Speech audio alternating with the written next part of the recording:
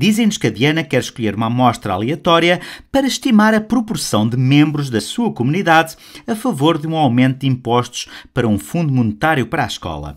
Ela quer uma margem de erro quer uma margem de erro que não ultrapasse os 2% com um nível de confiança de 95%. E perguntam-nos qual é a amostra mais pequena que dá a margem de erro desejada. Muito bem, então o que é que ela tem? Ela tem aqui uma certa população. E dentro desta população existe aqui uma proporção de membros que é a favor do aumento de impostos. Esta proporção nós vamos designar por P. O problema aqui é que nós não sabemos qual é que é esta proporção. Para estimar esta proporção, o que é que ela faz?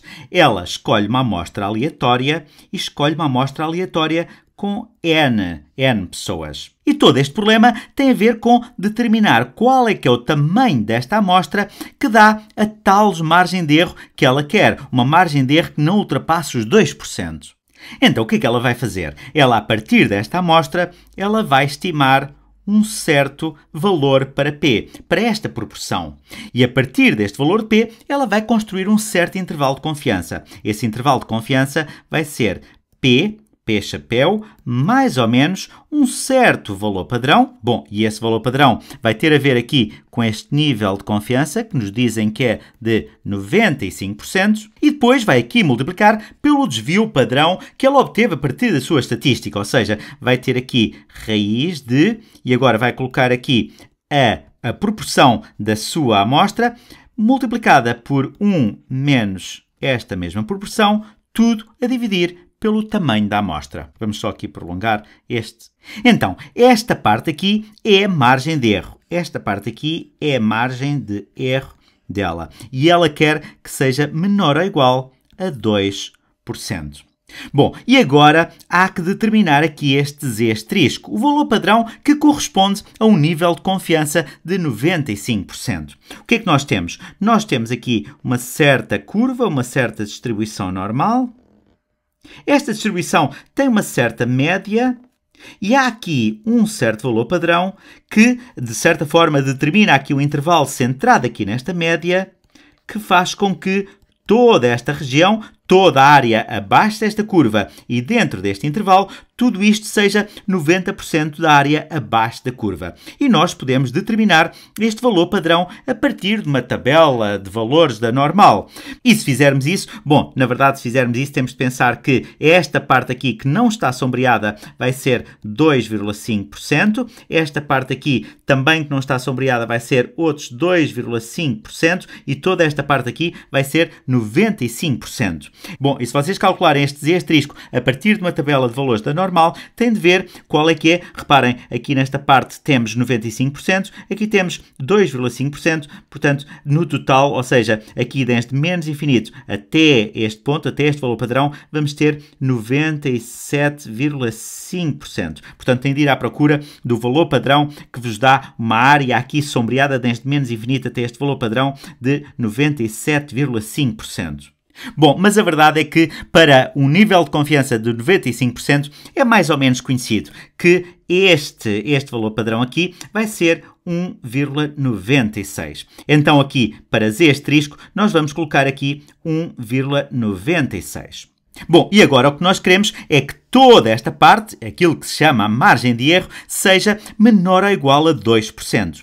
E para isso nós precisávamos saber quanto é que é P-chapéu. O P-chapéu vai ser a média que sai desta amostra aqui, mas se nós ainda não fizermos a amostra, nós não sabemos quanto é que vai ser o P-chapéu. Mas nós podemos perguntar assim, qual é que é o valor de P-chapéu que cria o maior valor possível aqui para esta expressão? Se nós escolhermos esse valor para P-chapéu, então, eventualmente, vamos poder garantir que toda esta expressão vai ser menor ou igual a 2%, bem, para um certo valor de ano. E pensem assim, qual é que é o maior valor aqui para esta expressão? Bom, e há várias formas de fazer isto. Podemos fazer isto por tentativa e erro, ou também podemos pensar que isto aqui é simplesmente menos p ao quadrado menos p chapéu e maximizar esta quantidade. Bom, mas isto vai acontecer, o maior valor que esta expressão aqui vai poder tomar vai acontecer quando o p chapéu tiver o valor 0,5. E, portanto, nós vamos considerar aqui um valor de p chapéu igual a 0,5, porque desta forma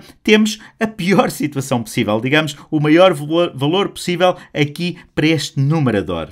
Então, esta parte, a nossa margem de erro, vai ser 1,96 e, na pior das hipóteses, vai ser 0,5, que eu estou a substituir aqui o P-chapéu por 0,5, e 1 menos 0,5 vai ser também 0,5. Portanto, 0,5 vezes 0,5 a dividir por N. Bom, e queremos que isto seja menor ou igual a 2%, que vamos já escrever 0,02. Então, queremos resolver aqui esta inequação para n para perceber qual é que é o tamanho da nossa amostra. Qual é que vai ter de ser o tamanho da nossa amostra para termos esta margem de erro que nós desejamos.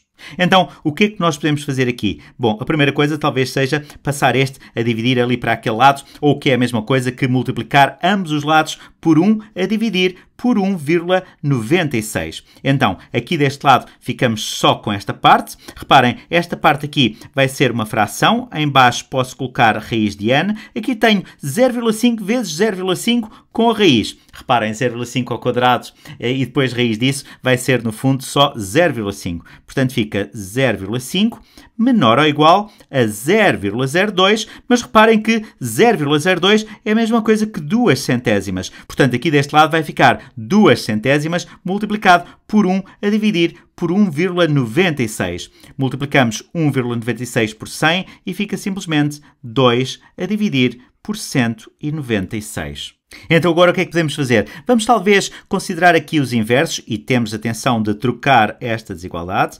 Então fica deste lado raiz de n a dividir por 0,5 maior ou igual a 196 a dividir por 2. Mas reparem que 196 a dividir por 2 vai dar 98. Maior ou igual a 98.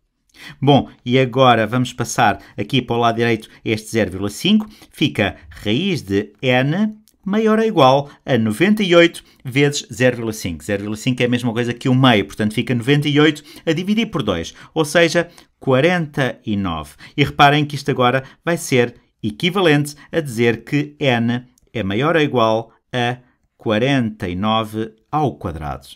E quanto é que é 49 ao quadrado? Vamos fazer aqui a conta.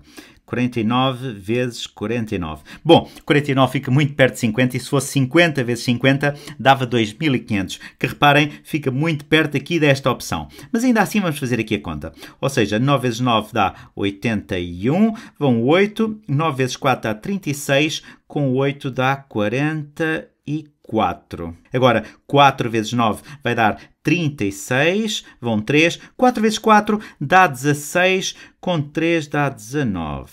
Então, somamos e vai dar 1, 4 e 6 dá 10, vai 1, 14, vai 1, 2. 2401. Cá está. É exatamente esta a opção que nós procurávamos. Esta aqui, o nosso n, vai ter de ser maior ou igual a 2401. Ou seja, a nossa amostra vai ter de ter pelo menos 2401 pessoas para que a nossa margem de erro não ultrapasse os 2%. Agora, é claro que a Diana, quando ela faz a sua amostra, quando ela retira a sua amostra, é possível que ela calcule aqui um P-chapéu que seja, bem, que seja menor do que 0,5 e nesse caso ela vai ter aqui uma margem de erro que vai ser provavelmente bastante menor do que 2%. Ainda assim, assim com, este, com, este, com esta dimensão da amostra, ela vai ter uma margem de erro que vai ser seguramente inferior, ou menor ou igual a 2%.